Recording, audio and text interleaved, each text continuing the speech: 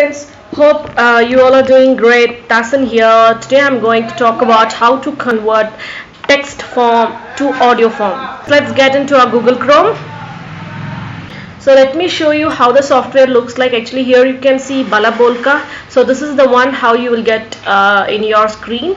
So all you have to do is get into our uh, what is that called Balabolka. So okay just type this and click can see soft Softonic actually this is how it will get open.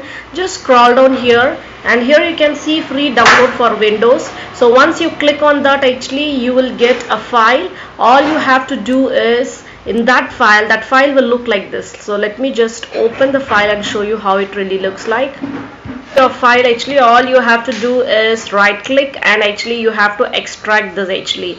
Or else actually if you click on zip rq file actually it will get open and all you have to do is just you have to run it.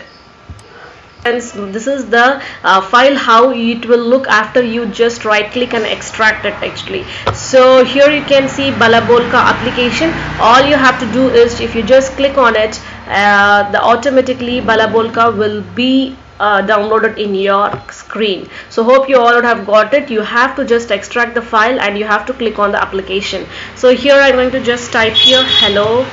Then I'm going to type here I'll just have just I'm typing here how are you? I'm going to just type here I am fine. So here I have done few sentences hello how are you? I'm fine. So let's see whether it's really actually is able to convert. I'm just going to play. Hello. How are you? I am fine so it's really working. If you want a female voice you can just click on the first uh, SAP 14 and then again hello how are you? I am fine.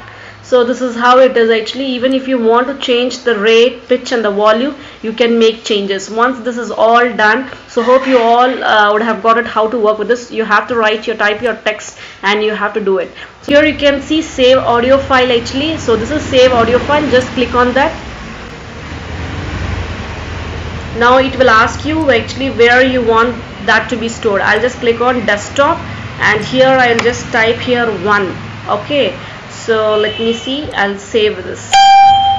Now it has got saved here. So here you can see this is the one audio format can see my file is stored actually so this is how you have to actually convert your text into uh, what is it called audio format. Hope you all would have enjoyed the session. So it is nothing but balabolka for PC just download this and enjoy having it. You can have this in your PowerPoint presentations. And you can have this actually for if you want to actually the robots to be uh, read for you you can all have this. So this is all about today's session. Take care. Bye bye